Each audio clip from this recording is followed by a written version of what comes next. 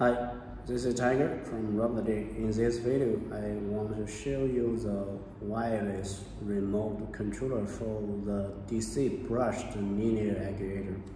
You can see this is a DC brushed linear actuator. There are two versions. One is 12 voltage and this one is 24 voltage. And here is a wireless remote controller. This one is a receiver and this one is a uh, remote controller. So this are just connected with such DC brushed motor. And uh, our DC brushed uh, linear actuator do not come with uh, such collector uh, to this to this receiver. So you need to purchase another uh, adapter uh, or collector uh, to for this receiver. Okay, and um, also you can find there are four options on RobotDigg that for this wireless uh, remote controller. One is 12 voltage, another is 24 voltage, and also there are another two options with such power adapter. So the price with power cell adapter is six or seven US dollars higher than without uh, this power adapter. Um, so if you do not buy this power adapter from RobotDigg, you need also uh, consider such uh, collector. Uh, if you have such collector, uh, power adapter uh, in hand or from other suppliers.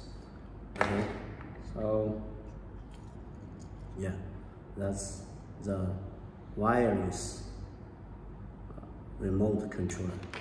And also there are another version this is a wired uh, controller.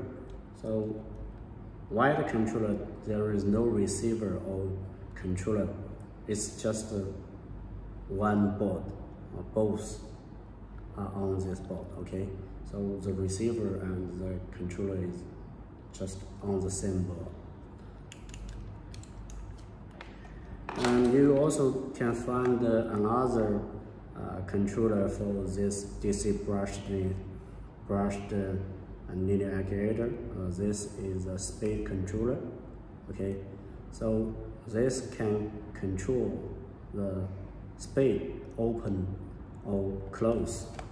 But this wireless remote controller just control it close or open. The speed is the rated speed of this linear algorithm. Take this as an example. The rated speed is 10 millimeter per second. So when you use this wireless or this wired uh, controller, uh, you just uh, can have 10 millimeter per second output. Okay, so you cannot control the speed. Uh, thanks for watching. Uh, that's uh, for this wireless uh, remote controller. Uh, please subscribe to RobotDigg and you will have more uh, information on our products. Thanks.